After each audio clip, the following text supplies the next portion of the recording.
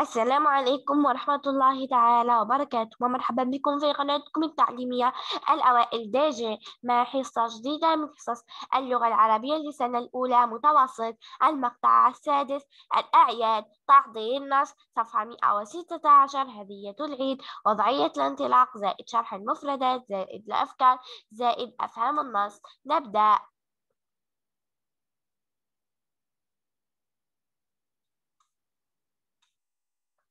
وضعية الانطلاق. يقول عليه الصلاة والسلام محمد صلى الله عليه وسلم تهادوا تحابوا وهذا حرص منه على تقوية روابط المحبة وتأليف القلوب. وروي عند سيد المرسلين أنه قال ولو أهدي إلي ذراع أو كراع لقبلت والهدية لا ترتبط قيمتها بماديتها ولكن بما تحمله من معان وما تمده من جسور التآلف بين الأفئدة. وقد دأب بعض الناس على أن يجعلوا الأعياد مواسم لتبادل الهدايا والأفراح مع الأقرباء والأصدقاء. واليوم سنستمع إلى نص عنوانه هدية العيد. والآن أعزائي التلاميذ افتحوا كتابكم على الصفحة 116 وتابعوا. هدية العيد. لم يبقى للعيد إلا يومان. هكذا حدث علي الصغير نفسه حين خرج في الصباح الباكر حاملا على كتفه صندوقه الخشبي الصغير الذي به أدوات مسح الأحذية وعلى باب المسجد جلس على الأرض في انتظار عميل.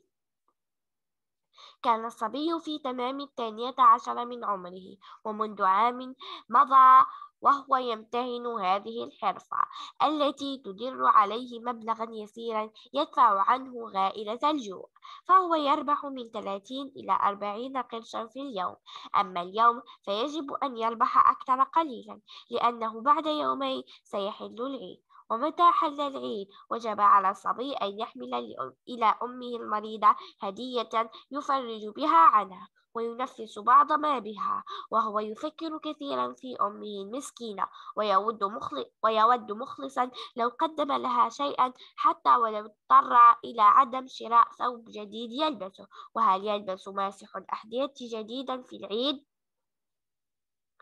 بل يجب عليه أن يكدح ويكد لكي يحصل على القوت وحرام عليه ركوب الأراجيح ورؤية الألعاب ودخول المسارح وما إليها من أدوات اللهو البريء والتسلية المباحة.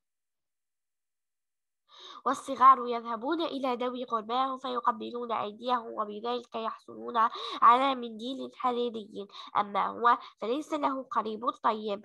نعم. لقد بقي للعيد يوم أو بعض يوم ولا شك سيزداد عدد الماسحين لأحذيتهم وبذلك سيرتفع ربحه وبذلك يتسنى له أن يبتاع لأمه المسكينة المريضة هدية طيبة. أنهينا قراءة النص. ننطلق الآن إلى شرح المفردات. تدر مبلغا تجلب له ربحا. غائلة شر هلكة الأراجيح جمع أرجوح وهو أداة تهتز براكبها. عميل زبون. يكدح يكد ويجد. يتسنى يستطيع يمكنه أسئلة الفهم العام. عما يتحدث النص؟ يتحدث النص عن هدية العيد. حول من تجري أحداث هذه القصة؟ تجري أحداثها حول طفل بائس فقير وما مهنته؟ مهنته هي ماسح أحذية ما زمنها؟ زمنها هو قبيل العيد عفوا قبيل العيد ما هي الحالة الاجتماعية للطفل؟ حالته الاجتماعية فقير جدا فيما فكر الطفل الفقير بمناسبة العيد فكر الطفل الفقير بمناسبة العيد بالعمل بجد لشراء هدية لأمه. بما حدث الصغير نفسه في طريقه إلى عمله مسح الأعدية أحدية حدث الصغير نفسه في طريقه إلى عمله مسح الأحذية بأنه لم يبقى للعيد إلا يومان. كم كان عمر الصبي؟ كان عمر الصبي 12 سنة. كم سنة وهو يزاول مهنته؟ يزاول مهنته مدة عام واحد فيما فكر فكر في شراء هدية العيد لأمه ماذا فعل الصبي الطفل حتى يستطيع أن يقدم هدية لأمه؟ حتى يستطيع أن يقدم هدية لأمه ضاعف عمله في مسح الأعدية هل كانت أرباحه كافية لشراء الهدية؟ لا لم تكن أرباحه كافية لشراء الهدية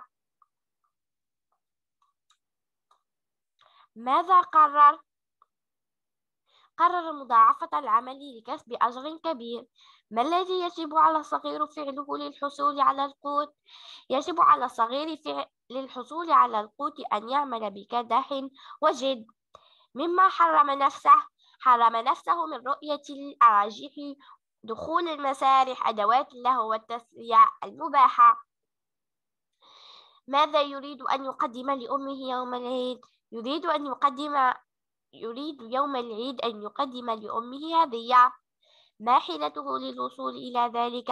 حيلته هي أنه مع قرب العيد سيزداد عدد الماسحين لأحذيتهم وسيمكنه ذلك من الحصول على ربح أكبر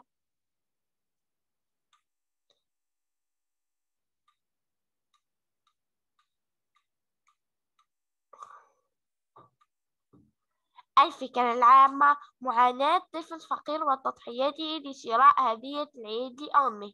الأفكار الأساسية الفكرة الأولى عزم الطفل على مضاعفة عمله لاقتناء هدية العيد لأمه. الفكرة الثانية التضحيات التي قدمها عليه في سبيل إسعاد أمه المريضة. القيمة التربوية الهدية رسول المحبة بين البشر. تفكيرك في إهداء هدية لأمك أحلى من الهدية في حد ذاته. إسعاد الأم ورسم البسمة على شفاه شفاها أجمل هدية ترجوها من ابنها يوم العيد. بر الوالدين مطلوب في كلد كلد الظروف.